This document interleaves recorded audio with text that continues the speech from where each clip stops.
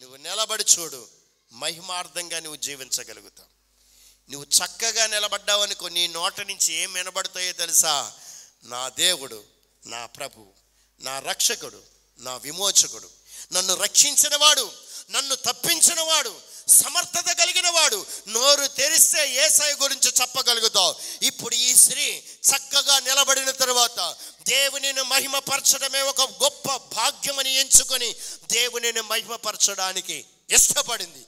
దేవుడు నీ జీవితంలో ఎన్నో గొప్ప కార్యాలు చేశాడు. ఈ రోజు నీవు ఎలా నిలబడ్డావంటే ఆయన కృప ఆయన కనికరం ఆయన జాలి ఆరోగ్య విషయంలో వ్యాపార విషయంలో ఉద్యోగ విషయంలో చేతి పని విషయంలో కుటుంబ వ్యాప్తంగా చచ్చిపోదామని అనుకున్న సమయంలో వ్యాధులు బారిన పడినప్పుడు సమస్యల వలయంలో ఉన్నప్పుడు అవమానాలు కలిగినప్పుడు అపనిందలు కలిగినప్పుడు ఆర్థికంగా చెదిగిపోయినప్పుడు నా పరిస్థితి ఏమైపోతుందో ఎటు వెళుతుందో తెలియని పరిస్థితులు ఉన్నప్పుడు నా ఏసయ్య నిన్ను నిలబెట్టాడు. నా ఏసయ్య నిన్ను బ్రతికించాడు. నా ఏసయ్య నిన్ను పోషించాడు. నా ఏసయ్యను బట్టి మాత్రమే ఈరోజు ఈ రోజు ఇక్కడ మీరు కూర్చున్నారు. ఆయనను ఎప్పుడు గణపరిచేవారిగా మారిపోవాలి.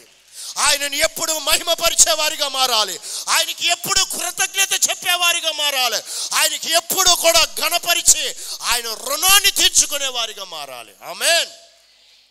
ఆయనకు తప్ప మరి ఎవ్వరికి కృతజ్ఞత మరియు మహిమ చల్లడానికి వీలు